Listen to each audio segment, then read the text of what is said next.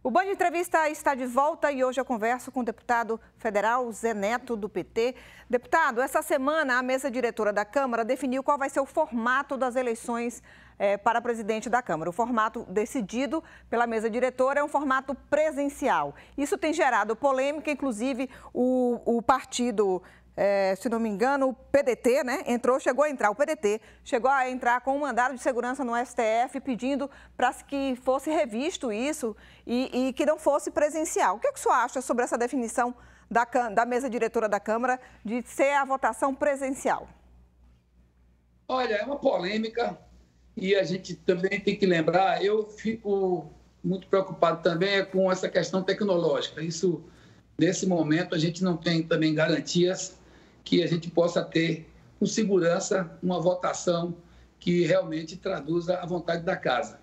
Em tese, há um, um problema no Brasil que a gente está enfrentando e eu acho que esse assunto deveria ser mais tratado na casa é por essas e outras situações que a gente vê como foi ruim ter suspenso os trabalhos da casa nesse mês agora de janeiro. Se a gente tivesse com a casa funcionando, com Câmara, Senado, debatendo não só essa questão da eleição, para não ficar com um ponto muito, muito focado, que eu acho que é um ponto importante, mas a gente tem tantos outros pontos importantes que precisam ser debatidos nesse momento. Então, o formato da eleição realmente é algo preocupante. Tem duas vertentes, tem uma vertente que também defende que para que a gente tenha condição de ter um processo sem atropelos que fosse presencial. Então, há essa polêmica.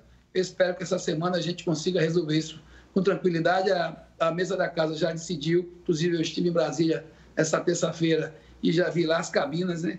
As cabines de, de votação uhum. no Salão Verde, espalhadas, né? E para evitar, evidentemente, a aglomeração. Agora, deputado, ainda falando sobre as eleições, o PT já declarou o apoio ao candidato do MDB, Baleia Rossi.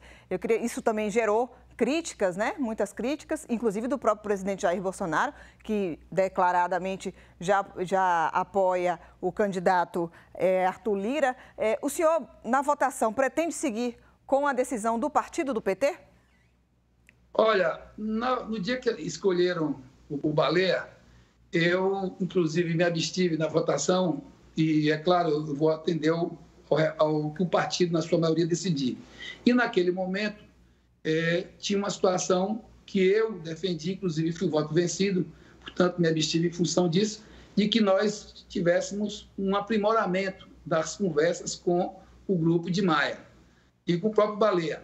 Eu posso dizer aqui com tranquilidade, a pauta que nós encaminhamos para ele, ela veio, eu diria, sem robustez, ou seja, coisas como a privatização da garantir que não tivéssemos mais nenhum movimento de privatização da Petrobras, garantir que não tivéssemos a privatização da Eletrobras. Que, aliás, vocês viram agora, Carolina, o quanto a gente sofreu e está sofrendo aí um, um, pouco de crescimento econômico que aconteceu aí nesses últimos dois meses em função do, do auxílio emergencial. Houve um crescimento econômico em algumas áreas, principalmente da construção civil, e faltou aço no Brasil, sendo que o Brasil é um dos maiores produtores de aço do mundo.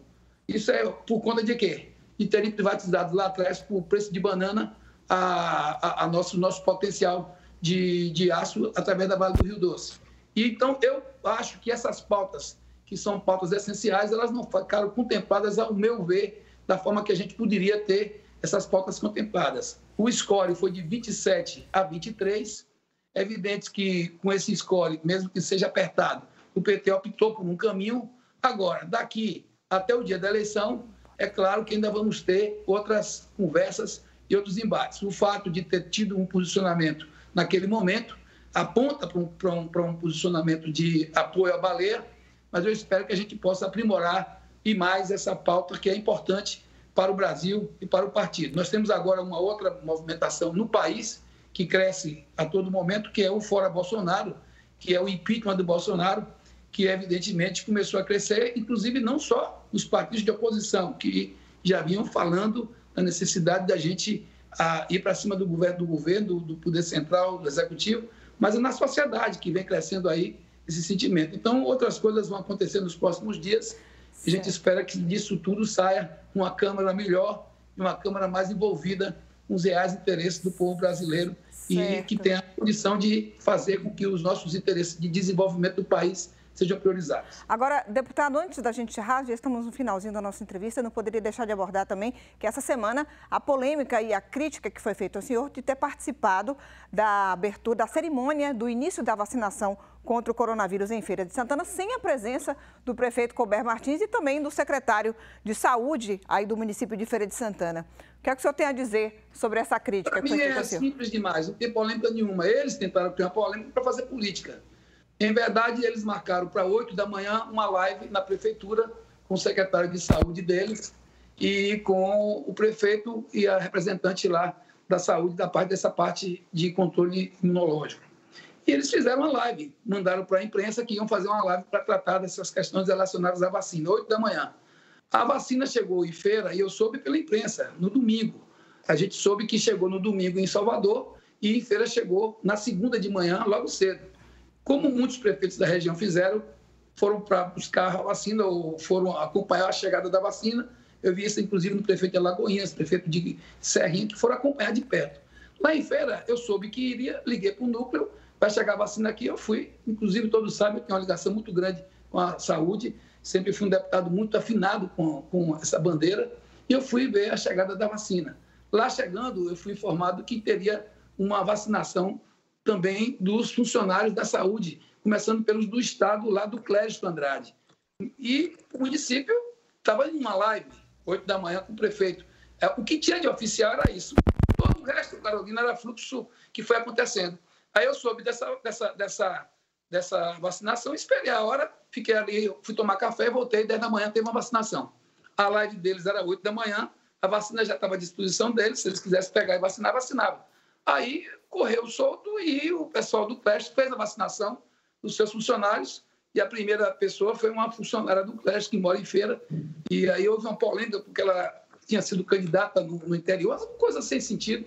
Eu sei que isso tudo é muito pequeno, que a gente precisa agora, é, para mim, é, olhar para a vacina. Nós precisamos de vacina, nós precisamos de insumo, nós precisamos de que a China e a Índia possam abrir para a gente construir com eles um, um, um novo patamar de diálogo e de envolvimento para que a gente tenha não só os insumos com as vacinas e também que a, que a nossa ação que já está no, no, na justiça muito acertada feita pelo governador Rui e pelo secretário Fábio Las Boas consiga trazer a vacina russa para a Bahia o mais rápido possível, a vacina que tá já mostrou eficiência e que tem capacidade comercial de abastecer o Brasil. Sem dúvida. Deputado, quero te agradecer pela sua participação aqui no Band Entrevista. Muito obrigada. Eu que agradeço. A gente precisa de menos polêmica e precisa de mais trabalho e de mais união em torno do Brasil, em torno desse momento difícil que atravessa a humanidade. E aqui pode ter certeza que vai ser sempre o nosso caminho. É o caminho do governador Rui, é o caminho do senador Jacques Wagner, é o caminho do nosso grupo e é o caminho da coerência que a gente sempre busca trilhar. Tá certo, deputado. Muito obrigada mais uma vez. Boa noite, tá? É isso. O Band Entrevista de hoje termina aqui. Para você, um bom fim de semana.